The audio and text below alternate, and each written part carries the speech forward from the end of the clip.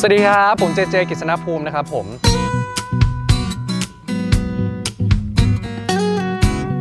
ทำไมถึงต้องมีพิธีกรพิเศษใช่ไหมฮะ เพราะว่าพิธีกรหลักเนี่ยตัวสั้นหมดเลยครับ แพ้แน่นอน พิธีกรพิเศษของเดือนที่แล้วเนี่ย ยิ่งตัวสั้นเข้าไปอีก แพ้อีก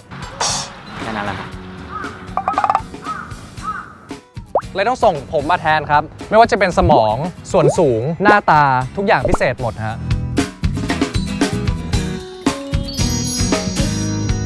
ไม่ต้องสงสัยนะครับ ว่าทำไมทีมที่อยู่กับผมเนี่ยถึงต้องชนะ แล้วมาเจอกับ JJ ได้นะครับ ทางรายการ Game of Teens ครับ ทุกวันอาทิตย์เวลา 11 โมงทางช่อง GMM 25 และบ่ายโมงทางไลน์ทีวีนะครับผมรับรองใครอยู่กับผมเนี่ยชนะแน่นอน